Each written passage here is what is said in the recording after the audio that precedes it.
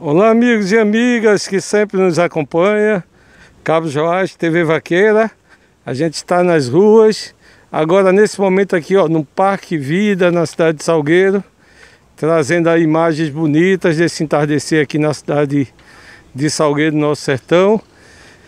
É, A semana passada infelizmente teve uma, uma queimada aqui ó, para essa área aqui do parque mas foi controlado aí pelo Corpo de Bombeiros, os moradores também ajudaram e hoje a gente está vindo aqui, dando um passeio, mostrando um pouquinho aqui da beleza desse lugar interessante aqui na cidade de Salgueiro.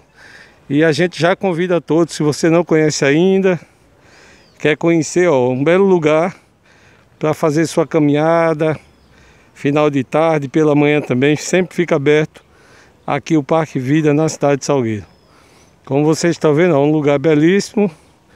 Sempre que a gente pode, a gente vem aqui é, esse parque fica aqui por trás do Plaza Hotel, na Avenida Elisa Patriota. Fica bem próximo aqui da Avenida Elisa Patriota, saindo aí da BR-232.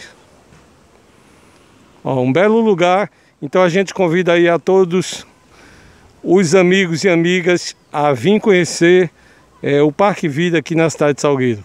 Cabo Joás, TV Vaqueira, o Sertão se liga aqui.